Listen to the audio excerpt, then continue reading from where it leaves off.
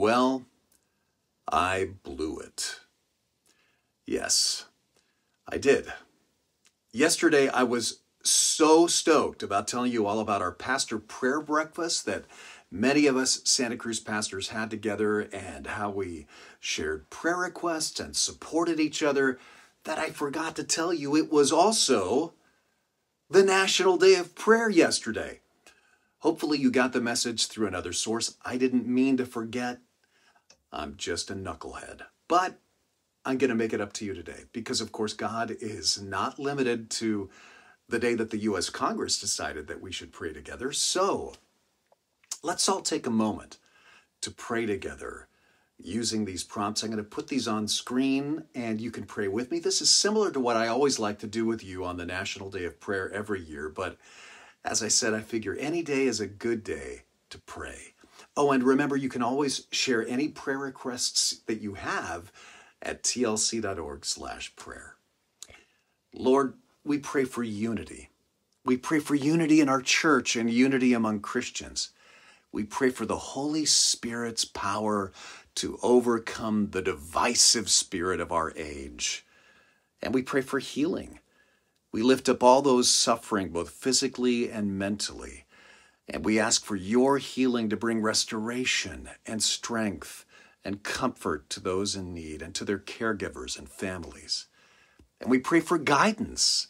Life seems so challenging and uncertain, and so we pray for clarity of mind, for discernment in decision making, and for faith to trust that you, Lord, have plans for each of us and that you're always at work even when we don't see it. And we pray for leaders.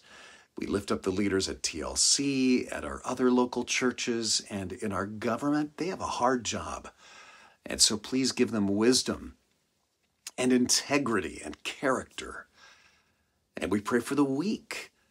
May we stand up for those whose voices are often unheard, for the vulnerable, for the marginalized.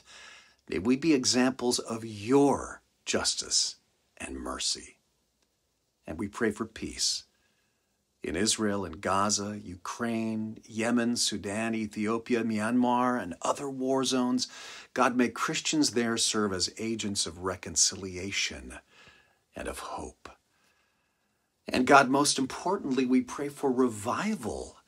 We praise you for the 45 people baptized at Twin Lakes since Good Friday. May we continue to see an increase in the number of people seeking and finding Jesus.